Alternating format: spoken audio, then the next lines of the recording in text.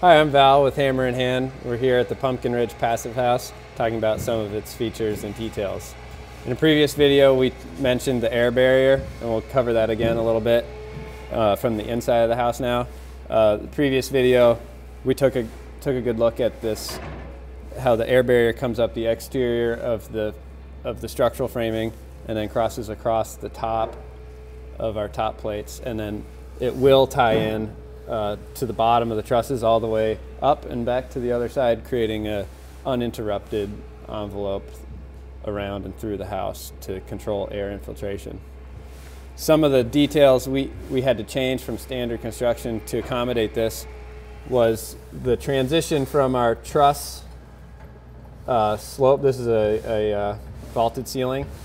The transition from flat to sloped had to come out a little bit further to accommodate where this transition happens. And we left this lip out beyond here so that we could get a good seal of uh, air sealing tape to this, to our sheet that we'll put on here next.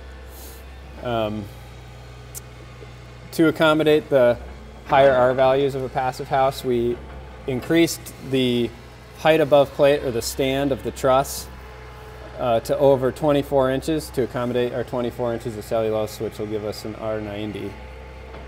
Uh, another feature we have here, well, to accommodate that, to, to transfer our shear all the way up to our roof, these bird blocks, which are typically just a 2 by 4 are now um, pretty large and they're actually you know, an engineered truss themselves, just a little guy there. Another thing uh, that, that we mentioned in a previous video to accommodate our air barrier, but also to maintain the uplift values that we need for our trusses. Instead of using the standard H2.5 clip, which would typically is a, is a miniature twist strap that nails here and here, the, the problem with that is that it would it would uh, interfere with our air barrier and we'd have a lot more air sealing to do. So what we've gone with is a new, newish Simpson product, which is an SDWC screw and that gives us the same uplift values and it just screws up into the bottom of the truss. And this is the, the guide for the Simpson SDWC screw and the screw itself, which is a uh, Torx drive um, screw.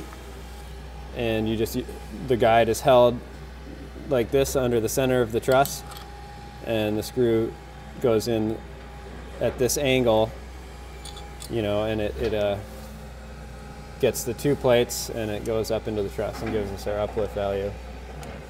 Uh, another thing we did on this house, and it's not necessarily a passive house thing, is our instead of having a vented soffit, we went with a corrugated vent strip.